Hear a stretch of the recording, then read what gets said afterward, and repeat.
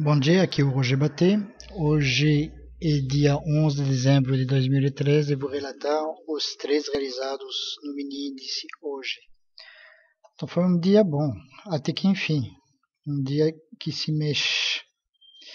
É, na parte da manhã foi continuou a mesma lenga-lenga do que na parte de, do que ontem, do que esses últimos dias. Né?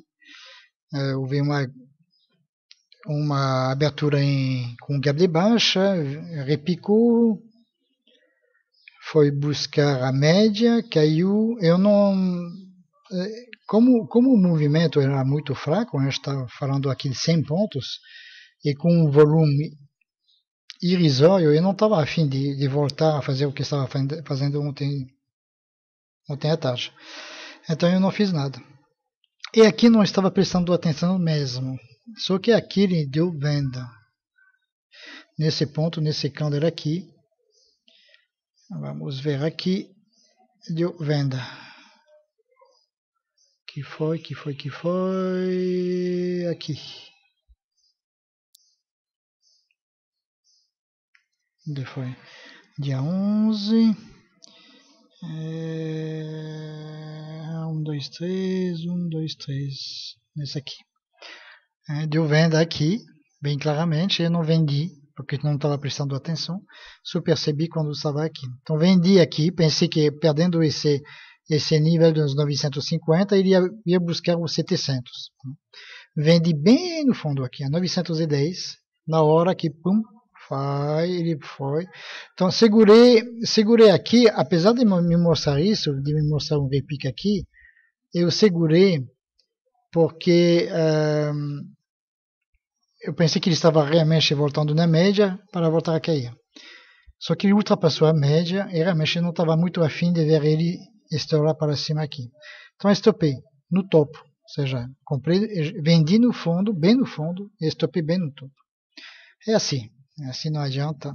Aí ele voltou a cair, evidentemente, aí voltei a vender a 990. E aí é, isso.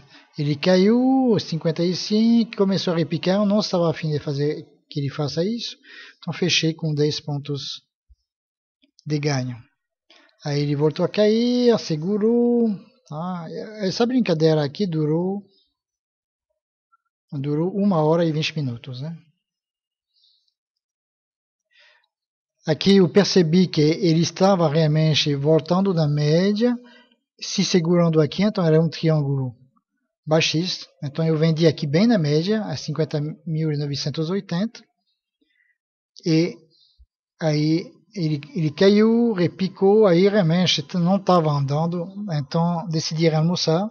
Coloquei o meu stop a 970, 980.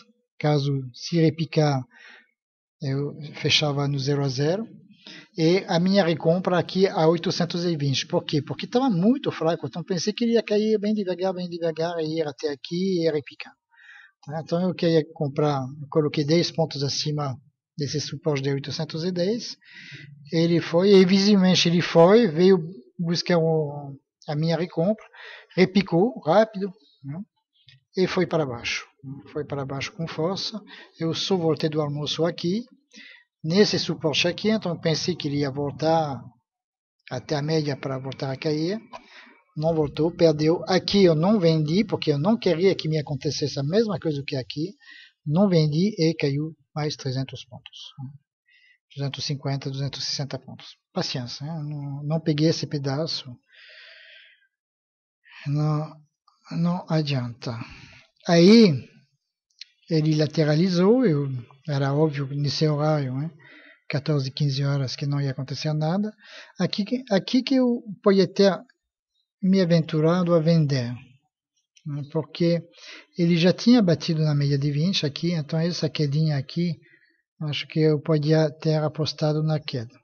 Esperei perder esse suporte, eu vendi aqui a 280, recoloquei a compra a 165, ele foi, pegou, e fez mais 115, 115 pontos. Isso, 115 pontos.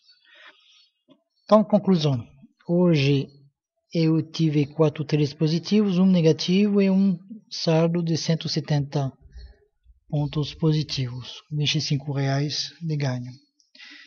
É, não é um resultado maravilhoso, mas pelo menos né, depois de uma, da saída de uma congestão como nós tivemos desde o início do mês, até que eu consegui aproveitar mais ou menos essa queda. Então, uma boa noite. Bom, amanhã, só para dar um toque, amanhã o que vai acontecer, não sei. Eu acredito que vai continuar a cair um pouco, mas eu duvido que perca os 49.000, 49.500. Se perder e fechar abaixo dos 49.500, aí já complica muito a tendência de alta que eu acho que ainda está. Então, vamos ver amanhã o saldo dos estrangeiros em quanto vão ficar mas uh, eu acredito que hoje eles devem ter recomprado. Vamos ver. Então, uma boa noite para todos e até amanhã.